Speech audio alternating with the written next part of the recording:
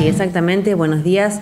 Ampliamos lo que sucedió el día sábado cuando en una agencia de loterías en la Diosa Fortuna de San Martín del 40 bis aquí en la ciudad ingresaron dos delincuentes y amenazando a la empleada, una joven de 23 años, sustrajeron una suma aproximada casi 600 pesos en efectivo. Recordarán que como informábamos el día lunes, ese misma, esa misma tarde, minutos eh, luego de ocurrido el hecho, personal del Comando Radioeléctrico procedió a la detención de un joven de 20 años, secuestró el dinero denunciado por la empleada del local, pero faltaba la aprehensión del segundo partícipe de este hecho de robo calificado, ya que había sido cometido con la utilización de un arma blanca. En horas de la tarde de ayer, personal del Comando Radioeléctrico en la vía pública procedió al arresto del segundo implicado en este hecho, un joven de 24 años. Recordemos que el primer detenido tenía 20.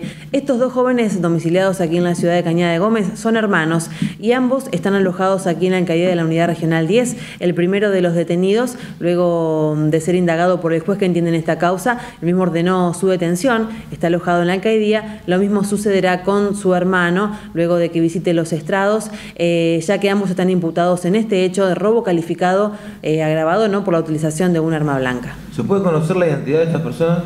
No, por el momento no podemos brindar las identidades de estas dos personas detenidas.